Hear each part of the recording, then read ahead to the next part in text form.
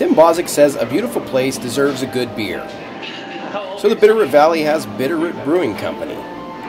So again, I'd looked at the industry for, for a number of years and, um, um, and, and really liked it uh, and really liked good beer and just thought it would be uh, a, a really good fit here. Bozik started the brewery in the late 90s, perhaps the perfect time to launch such an endeavor.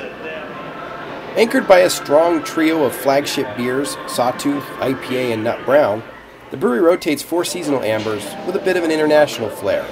You've got an Irish amber, an American amber, Scottish amber, and a Belgian amber, each in its own season.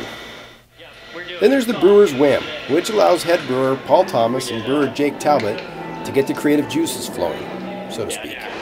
Those are the, probably the most fun to do because you know, make make recipe and stuff. I lived in Yellowstone before I came over here.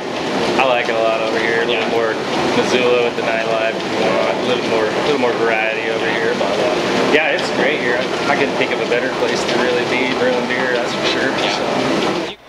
The brewery houses a 10 barrel brew system, built in Oregon, I might add, which can be seen through the large glass windows that separate the tap room from the brew house.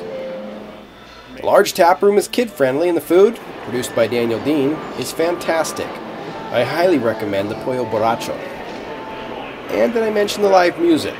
From the house band Jones End to Tom Catmull and the Clerics, Bitterroot Brewing Company is one of the best live music venues in the valley. It's been really, really well accepted by the community, and I think the community here in the Bitterroot uh, has just had so much to do with the success uh, of this of this business. I mean, we've just been really embraced. There's so many people, uh, you know, that have been here for years that kind of come out of the woodwork. It's it's like oh, finally we can go someplace and visit. It's okay if the kids are there.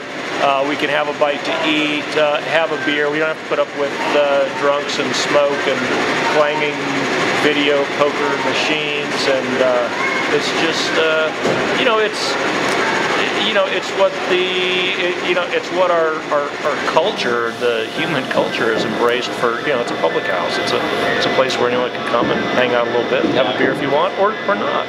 I mean, we keep, uh, you know, a bunch of different sodas and, and uh, water and, uh, you know, non-alcoholic beer. I mean, it's, uh, you know, it's a place where everyone can come. A little bit of music. For GrizzlyGrowler.com, this is Tim Akimoff.